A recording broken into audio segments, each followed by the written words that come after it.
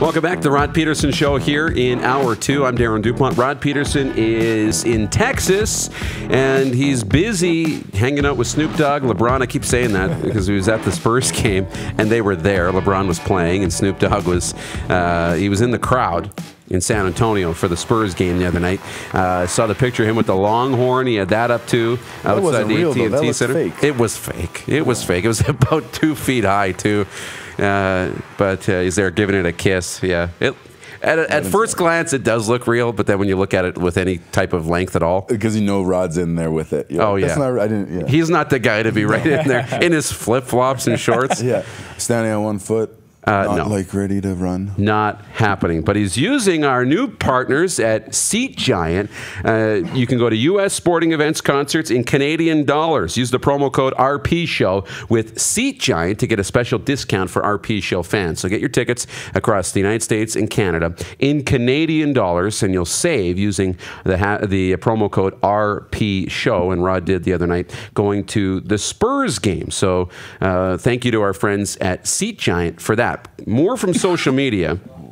Uh, first, let's get to this. Breaking news The Saskatchewan Rattlers, member club of the Canadian Elite Basketball League, announced on uh, Tuesday today that Greg Jockims will be stepping down as general manager and head coach to assume the role of basketball advisor within the organization after leading the Rattlers to their inaugural CEBL championship. He's stepping away from full time duties to focus on his family and business. So, uh, wishing Greg Jockims all the best. A wonderful ambassador for the game, won a U Sports championship with the Saskatchewan Huskies, and now taking the Saskatchewan Rattlers and winning that national title in the Canadian Elite Basketball League. On But a Kawhi. yeah, one and I'm done. here. One and done. You're welcome.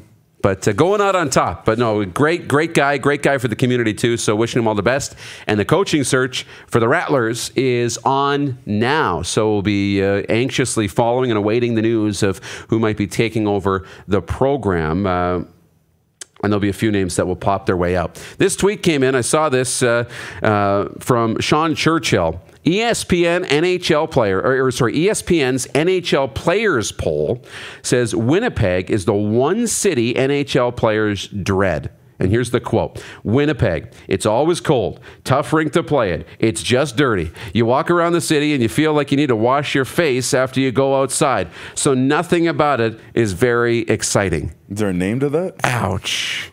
That's from an NHL player. No name. No So- name. Yeah. No. To, to play against or to play for or both? I don't know. Right? I'm assuming As a this free is. agent, is that a place you don't want to go? I assume it's visiting players on the road. yeah, the and- Shark Club is right there. You can't complain about that. Yeah. You see now, if you're describing a, a, a hockey player, that's what you want.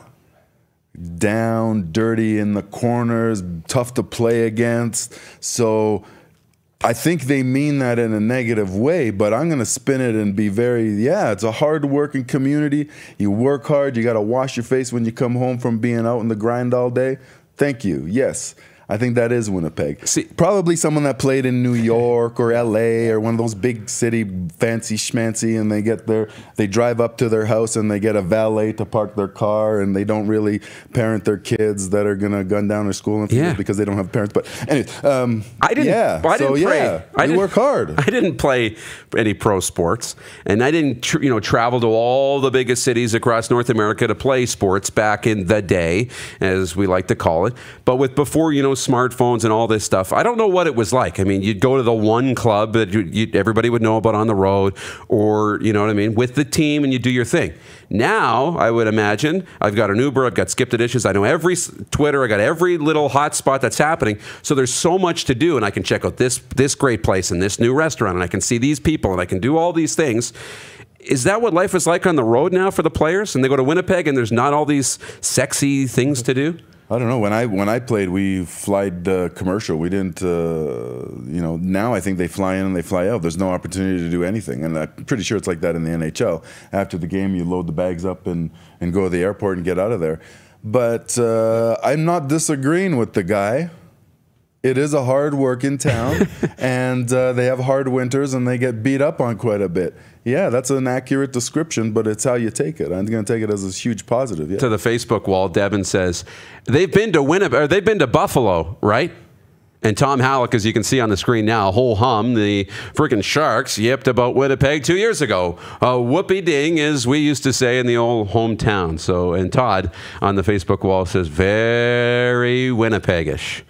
So there you go. And Dan, Dan Horner mentioning on the Facebook well, that Regina needs to needs a standalone Shark Club. Is there is there something in Saskatchewan that prohibits a place to eat right next to the play to watch, right next to where you're going to watch a Yeah. game? Yeah. It, it, it's it's like I That's what want to I want to open Club like so a great, taco right? stand, anything. Come and eat my food. Co- Like a bar attached to Mosaic Stadium would go wild. You go up to Saskatoon, you almost don't want to go to the game because there's no. y- That's- there's no place to have a pregame beer Yes. because you can't drive. Like it's, uh, I, I I love commerce. I love the opportunities that are there. There's got to be someone in place. I'm not the smartest guy around to think a taco shop next to a stadium is a good idea. Mike, that's my thing. In, I think in Saskatoon, where SaskTel Center is, way out. I think they tr- the idea maybe was to build a little community around it, but there should be some bars, some shopping, I'm pretty sure it's, things it's a do. zoning thing that There's uh, nothing there. This is politics, man. We're I know, into politics. and that's my reason why it should be a downtown arena,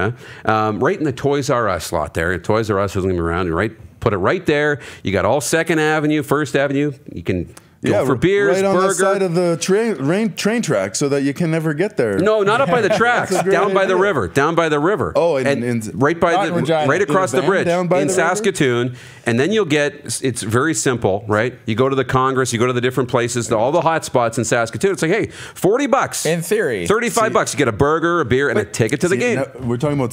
Uh, I'm a fan of putting the stadium here and putting stuff around it and creating a new commercial. Think about area. you, you've been to a Arizona Coyotes game.